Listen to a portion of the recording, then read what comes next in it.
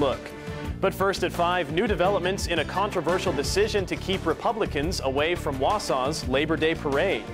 Good afternoon to you. I'm Daniel Woodruff. Thanks for joining us. Wausau's mayor is now calling on Labor Day parade organizers to let Republicans participate. We first broke the news last week that Marathon County labor leaders had decided not to include the GOP in this year's parade. Well, now Mayor Jim Tipple says the city is a co-sponsor of the parade because it pays the insurance premium, builds a stage, and provides city services during the parade for free.